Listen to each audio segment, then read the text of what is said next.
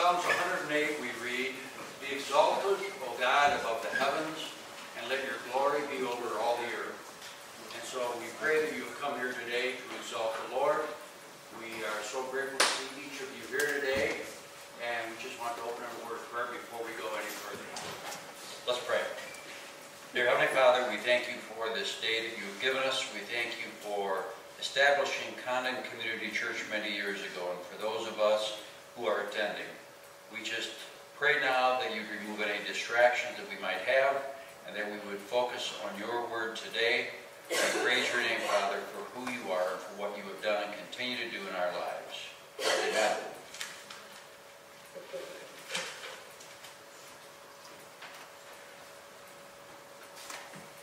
Good morning. Won't you please stand and join us in singing this morning? Our hearts are full. The day is beautiful. We are grateful, and we recognize that His grace is enough. Let's sing together.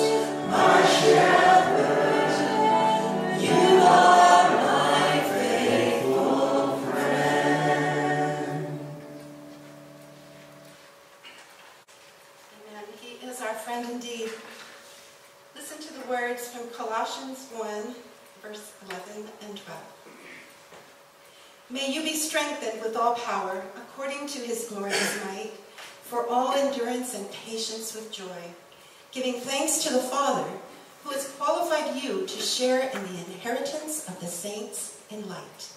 He has delivered us from the domain of darkness and transferred us to the kingdom of his beloved Son, in whom we have redemption, the forgiveness of sins.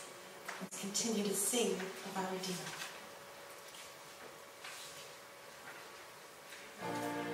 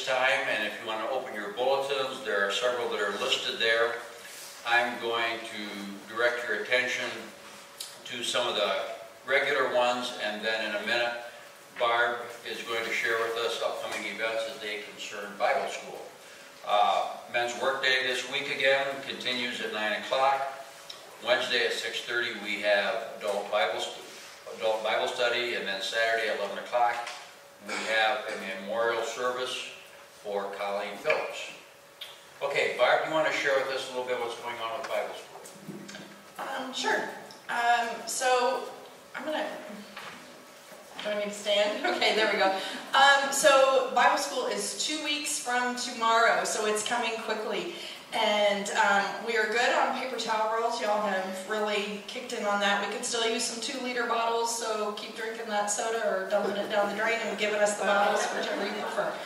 Um, also, we are, we're pretty much fully staffed, and we're never fully staffed when you're dealing with, with kids. Um, and I'm just gonna ask all of the VBS workers to take a quick stand, surprise, stand up real quick.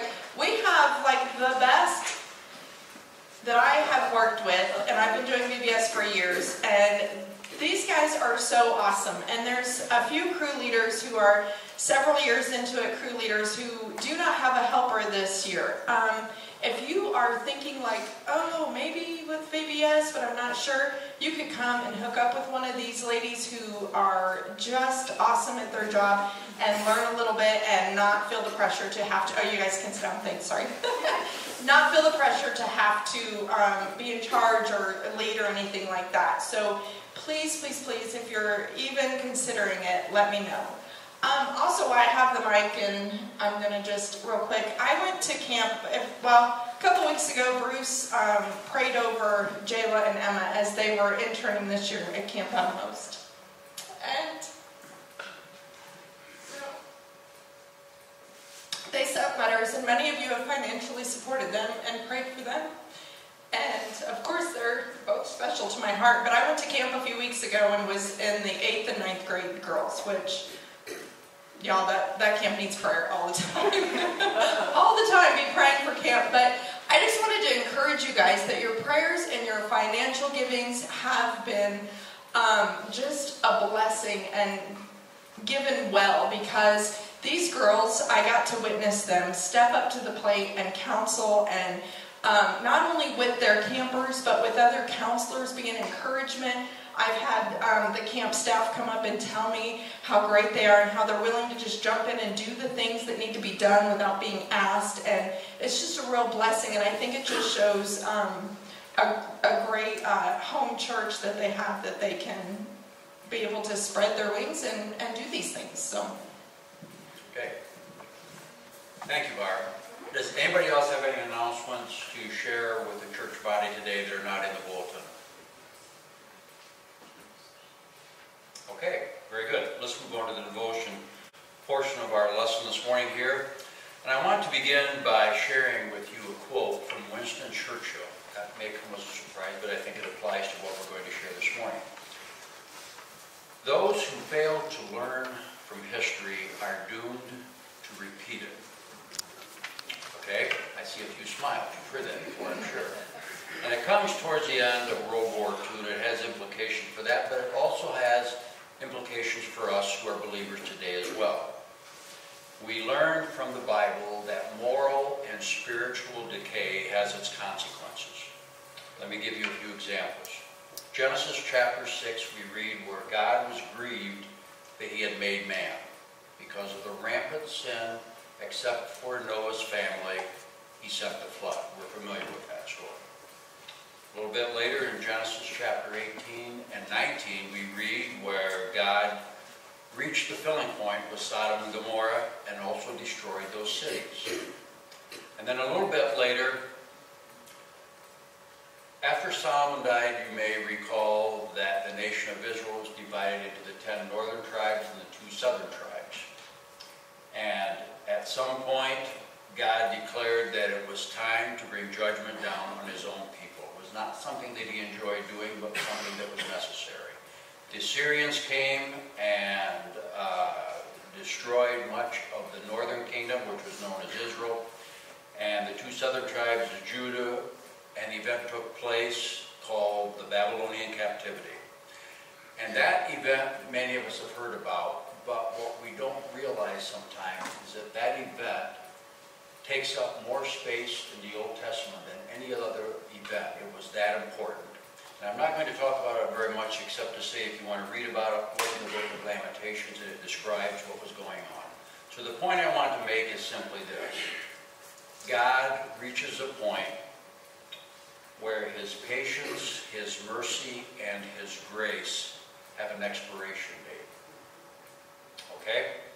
So I'm going to turn to Amos chapter 8, verses 11 and 12.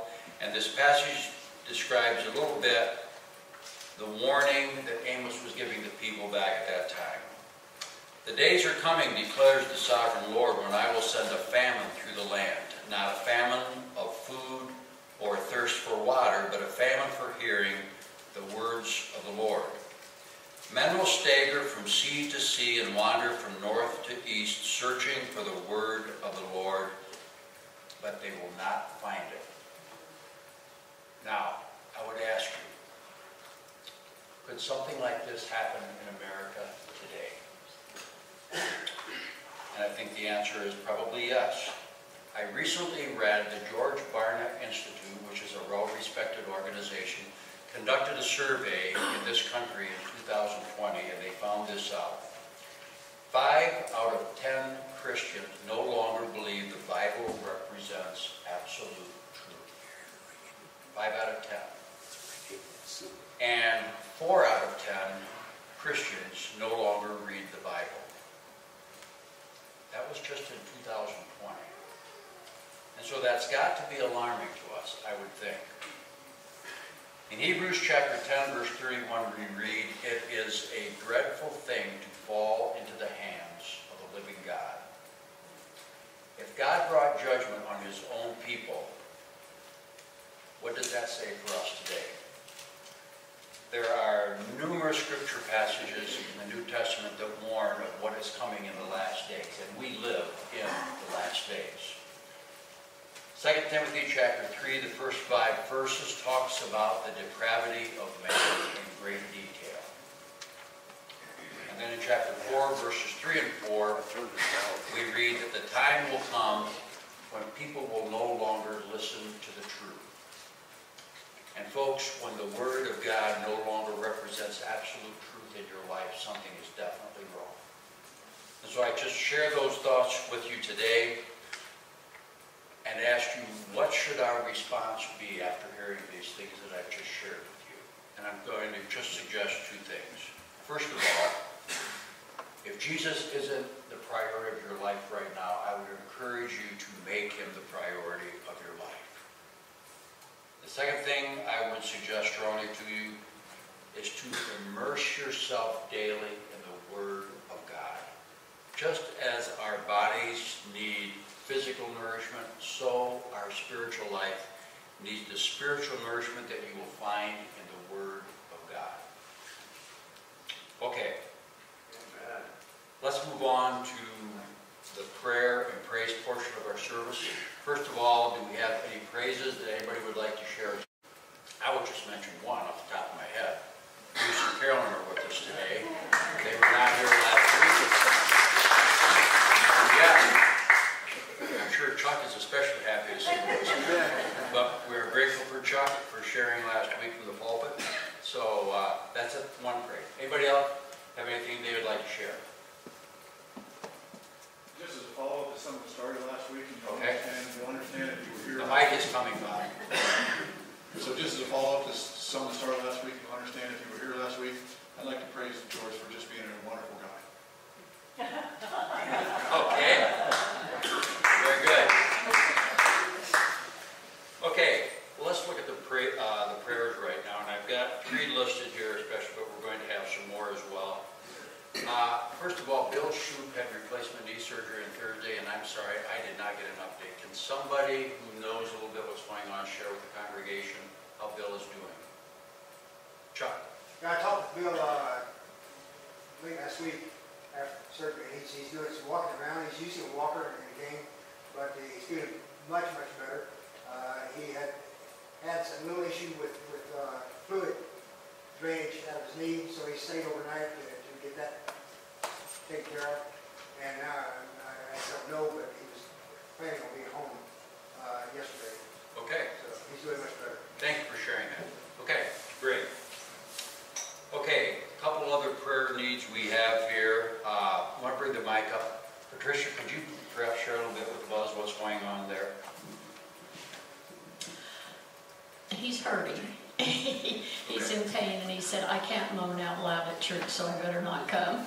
He fell Tuesday, he actually passed out because his blood pressure is being very funky, and his heart rate's very low, his blood pressure's very high. So he passed out, fell, fractured three ribs. And so they've got him on a heart monitor that will give them documentation to, for the cardiologist to know what to do. Okay, thanks for sharing that, Patricia. Okay, one other prayer request we have, uh, Chuck's son Corey is going to go in for some cardio- cardiovascular tests tomorrow. So we want to keep him in prayer, the outcome, and those who will be administering to him and caring for him. So pray for him. Does anybody else have any other prayer requests that you'd like to share? First, I'd like the prayers go out to a friend of mine, Rogers, passed away. And then for last night to uh, Gary Crook, who passed away. okay. Anybody else?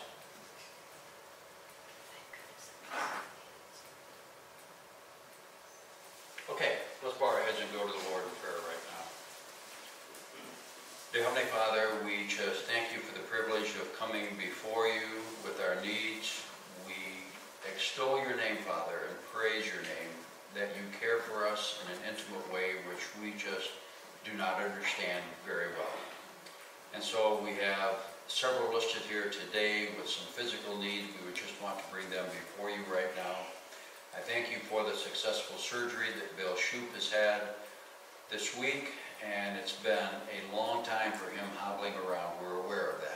And so we just pray for he and Lynn and for his recuperation, and just thank you for what you've already done in their lives. Father, we're aware of the accident that Buzz had this week, and even now as he is in pain and uh, uh, just dealing with the fractured ribs and other health issues that he's been dealing with for some time now, we just lift him before you. We thank you for he and Patricia and how important they are to this church body and the leadership that they have provided for so very many years, and just pray for his complete recuperation as well. Father, we pray for Corey as he undergoes these tests tomorrow. We pray for the outcome. We pray for those who will be administering and taking care of him during this time. And we pray for Chuck and Diana as they will be lifting him in prayer as well. We pray for a positive outcome to these tests, if this would please you as well.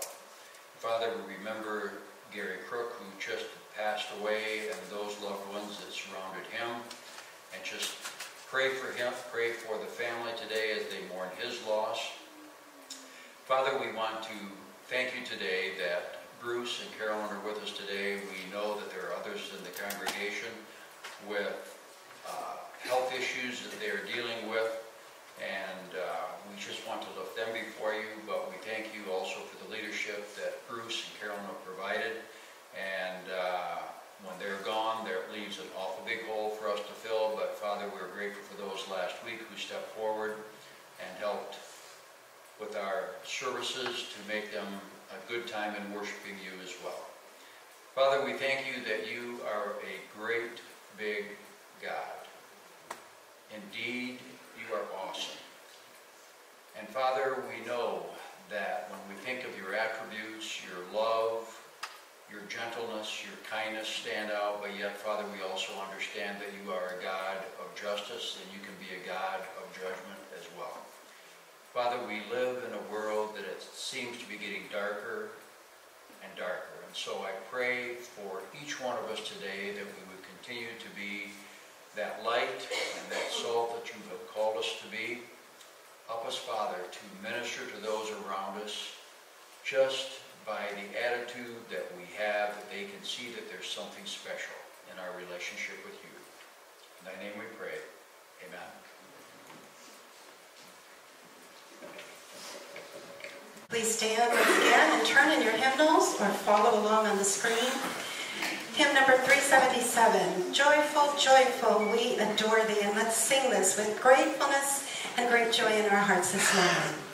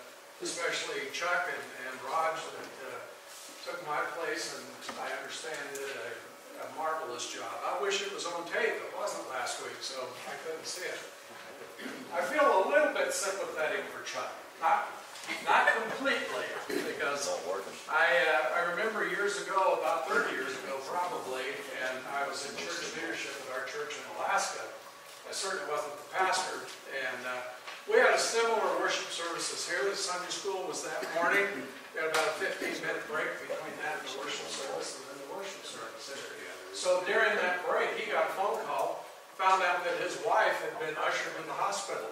And he went flying down the middle aisle of the church, and as he went by, he said, it's all yours, Bruce. so Chuck had a little more time than that. And I knew he was going to do a great job. I did, because he didn't have enough time to think that he could put something together on his own. I knew he had to completely rely on the Holy Spirit. Since I've been doing that for 12 years, I knew it to turn out great, so I appreciate it. And since I wasn't here last week, I didn't get the opportunity to thank all of you that worked so hard on the 4th of July. Wasn't that great? Wasn't that terrific? What an outreach to our community. 724 meals, was that? Yeah. I don't know how many people took doubles, but that's a lot of folks for a little community like this. And, and what an outreach. And I always, I don't actually do anything during this process. I stand up at the front of the line. I'm kind of like the Walmart greeter. I, I say hi to everybody that comes through the front of the line, but I really appreciate hearing the comments. And now we've been doing this for four or five years, whatever it's been, and folks, they understand the program. They know how it works. They know that the church bears all the expenses and any donations that come in, they go out to other community organizations. We don't keep a nickel of it. And folks know that and they appreciate it. And for the first time in the years we've been doing this, I had a couple of folks come through. I actually didn't recognize them. I, I don't know if they're here in the community or visiting, but uh, they thanked us for doing this and said, next year we want to help.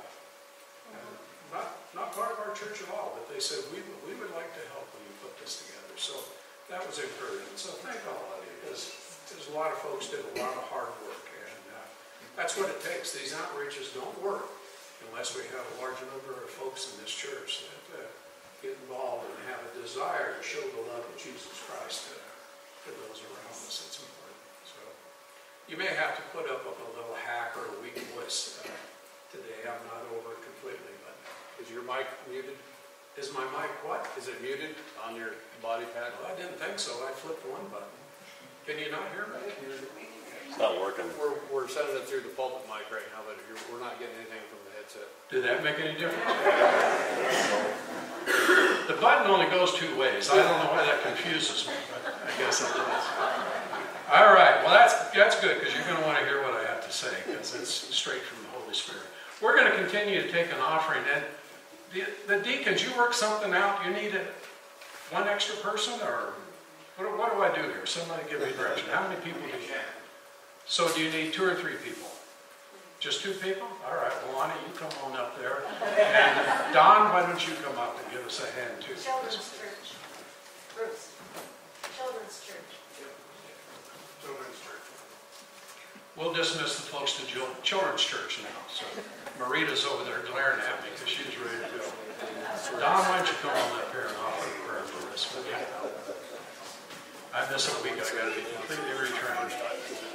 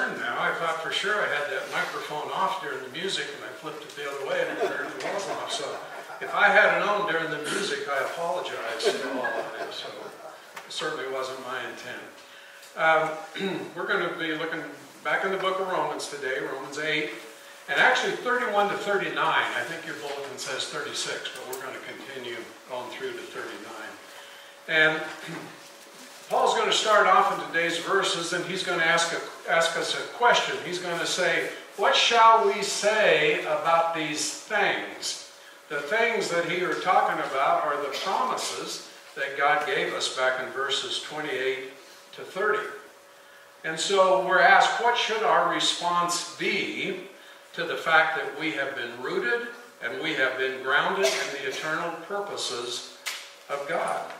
Paul says that one response should be, if God is for us, who can be against us? Now, you know, if you just consider that phrase on the surface, who can be against us, your first thought might be everybody.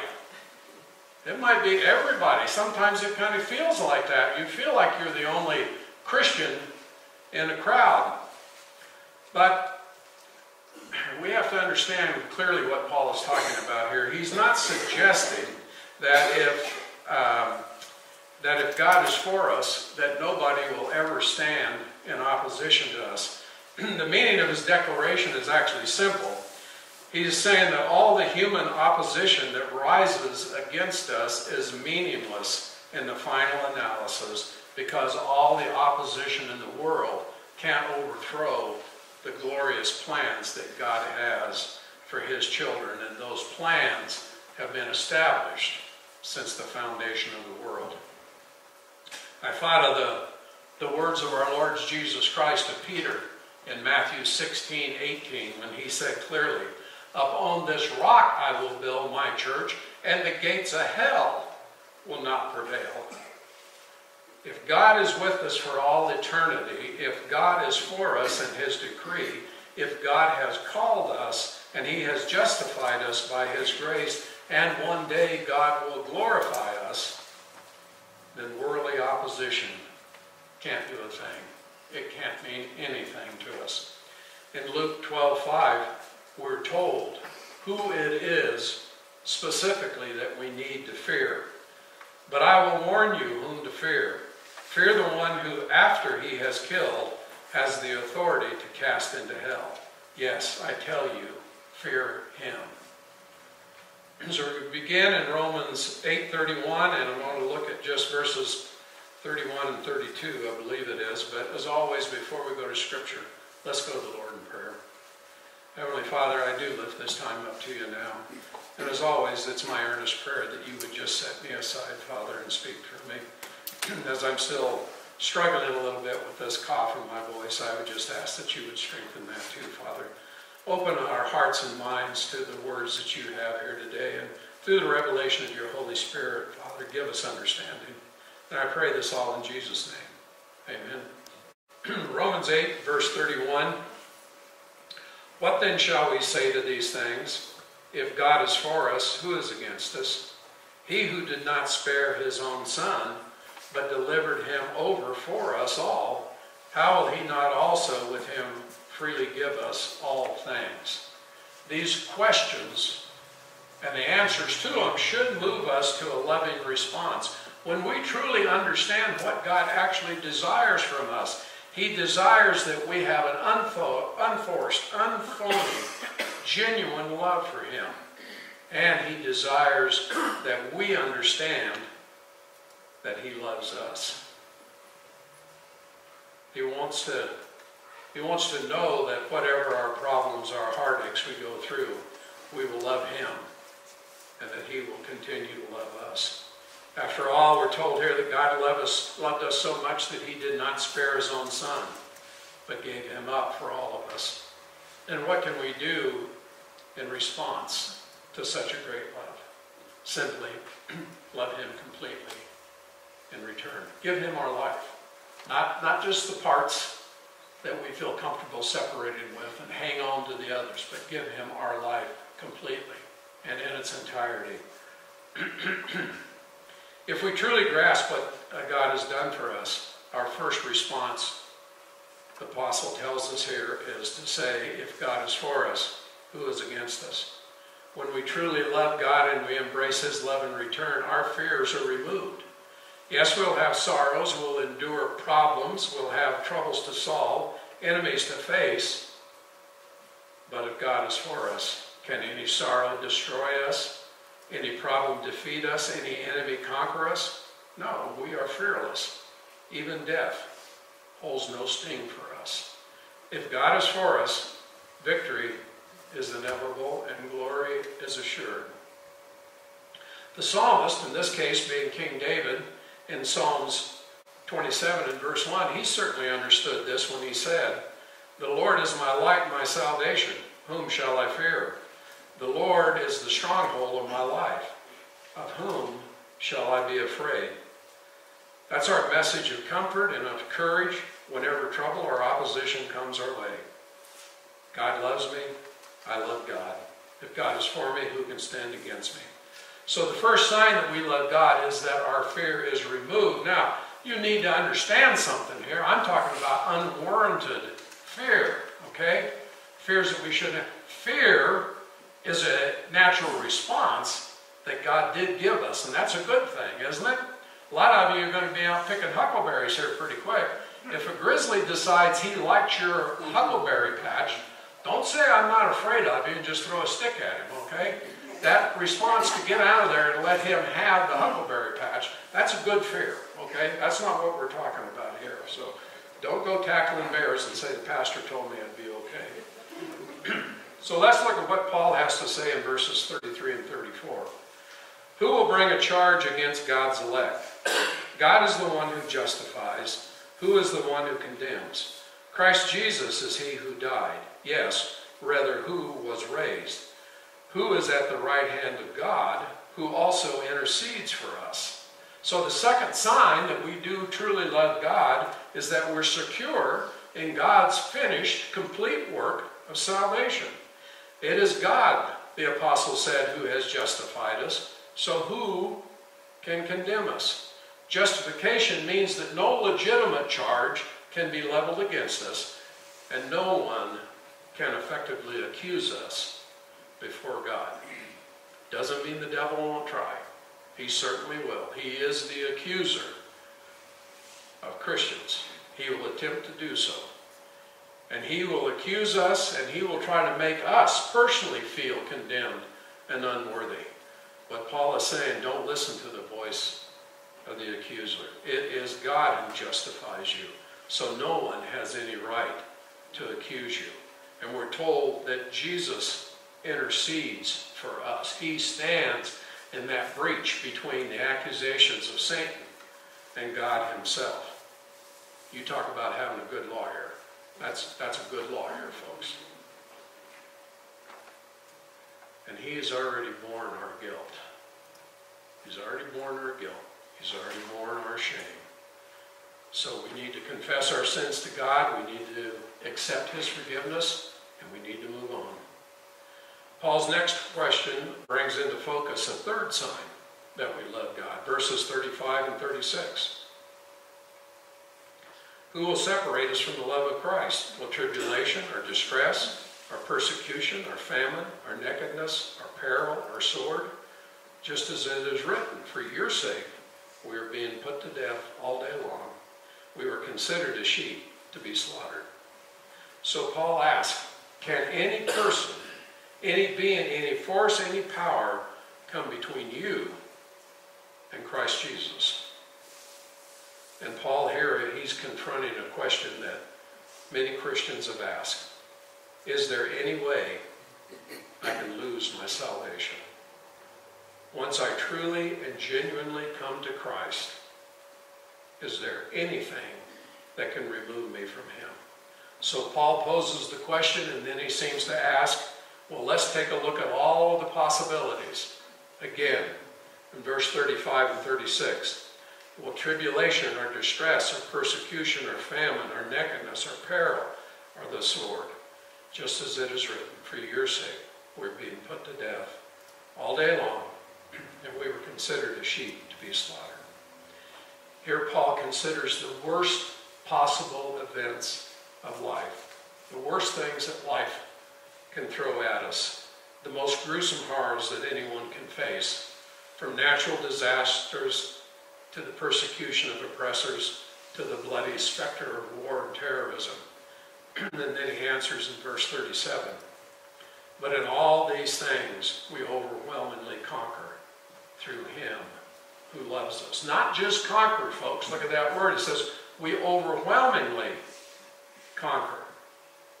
These things cannot separate us from the love of Christ. Even amid the worst this world can do, Paul says we are super conquerors. And why?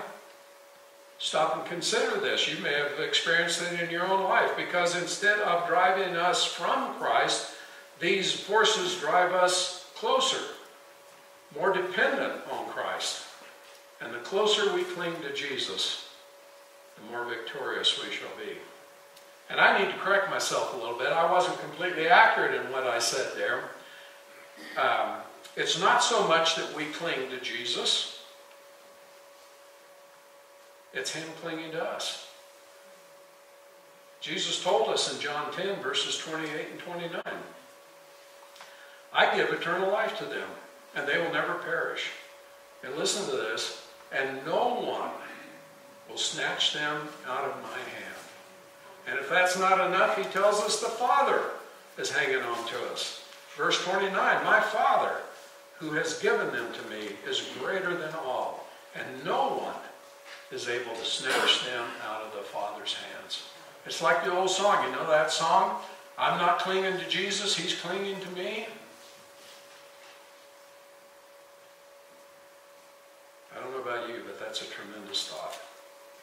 Next, Paul addresses the possibility of supernatural forces, of angels, demons, powers, and events that we can't even imagine.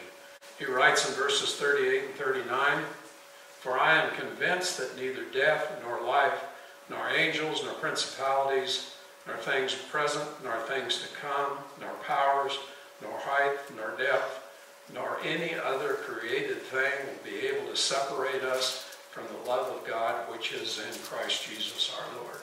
He has left absolutely nothing, nothing off of that list. He has accounted for everything for demons, dark powers, black magic, angels, truth, terrors, death, life. He even accounted for the terrors that might come from some sort of science fiction alternate dimension when he writes, nor any other created thing this is interesting. In the original language, what he actually said here is nor anything even in a different creation.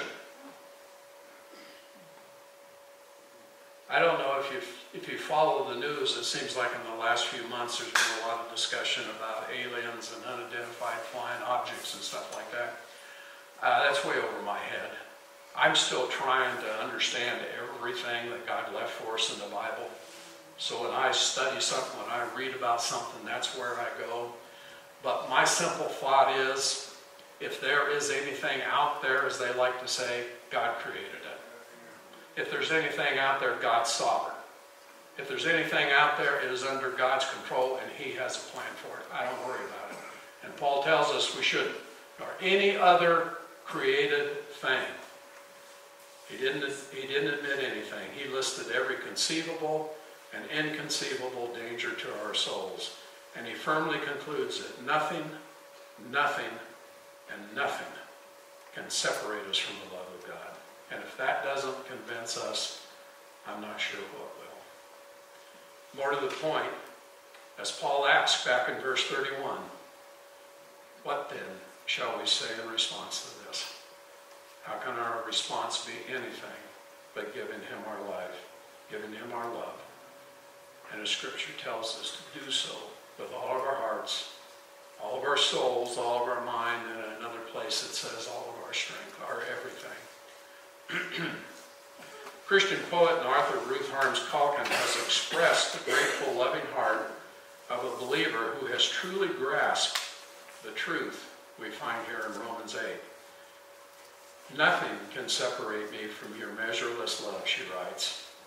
Pain can't, Disappointment can't. Anguish can't. Yesterday, today, Tomorrow can't.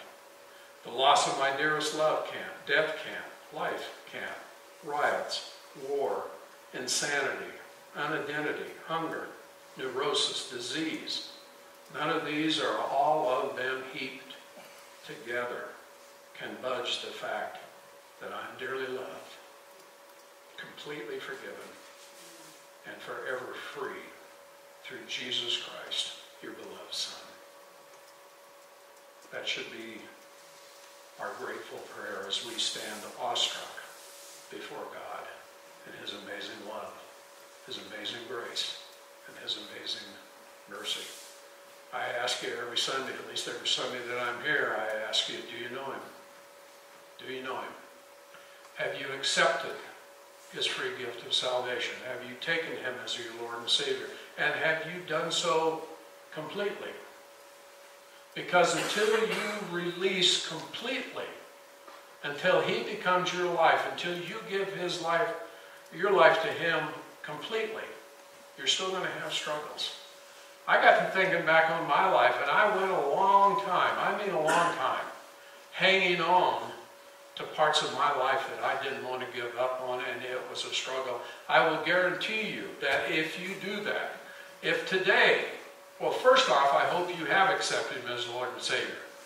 But if you haven't given your life completely, and you do so today, you go home, get down on your knees, and you say, I give up, Lord. I surrender. You just take all of my life, every little part of it, every corner, and you make it yours. Five, ten, fifteen years from now, you're not going to come to me and say, Boy, I'm sorry I did that. You will not. I will guarantee you. Continue to pray for revival. Pray that it might start right here in this church, in this community. If you've picked an individual or a group, family to pray for, continue to do so. Heavenly Father, I thank you so much for this body of believers. I thank you for their desire just to let their light shine in this community, to be salt and light as you have charged us to be, Father. We live in just a wonderfully, aesthetically beautiful place, but there's darkness there, Father. There's spiritual darkness. And I just pray that each and every one of us would continue to do our part to let those around us see your love living through us. And Father, I thank you so much for the promises that you've given us in these verses. What comfort, what strength they should bring to each and every one of us. And I pray this all in Jesus' name. Amen. We're going to have a closing hymn and then, uh, I don't know, Leon, you got that microphone or close? Would you close us in word prayer, please? Please stand once again and either turn in your hymnals to number 18 or sing with us from the screen. What a great hymn to finish off this wonderful sermon. The love of God, how rich and pure, how measureless and strong.